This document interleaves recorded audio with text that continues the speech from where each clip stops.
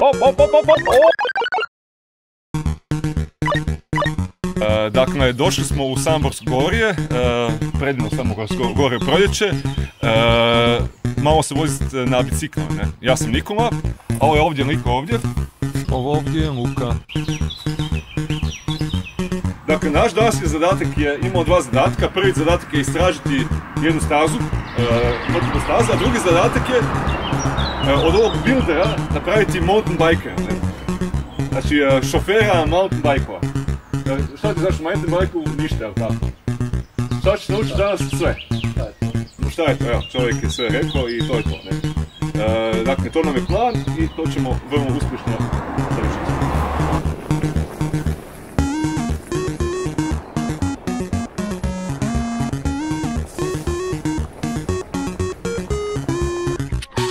Eto vidiš, znači ovo guranje je sastavni dio mountain bikinga.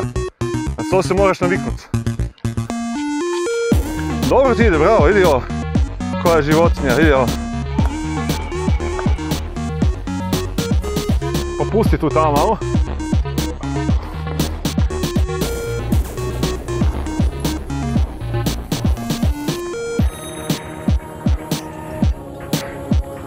Znači sad smo tu, a onda ćemo biti tamo.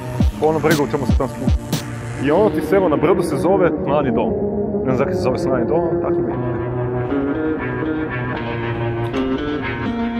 Lijepo.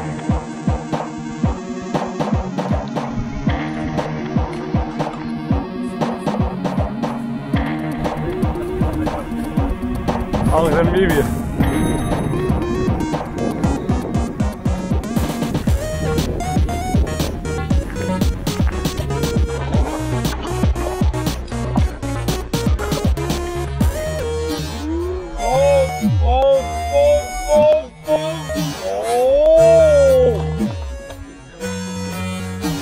Jebote. Dobro, ja sam doktor. Zaglavljen je bio, Nisu, nisu na dobro. Spektakl. Jesi snimao? Snimljeno. Snimao? Bravo. to je najbitnije. Svjetski. Dobro. Snimio. Snimljeno. Nemoj video.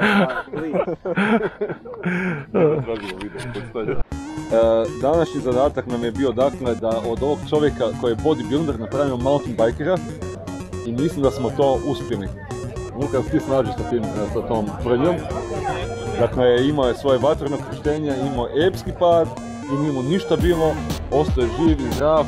Evo sad je malo, malo jedno klono duhom, ali ovaj, mislim da, da, je, da je pred njim jedna sjajna karijera, već je razmišljao, već je pitao gdje se može takav bicikl kupiti, koliko to košta.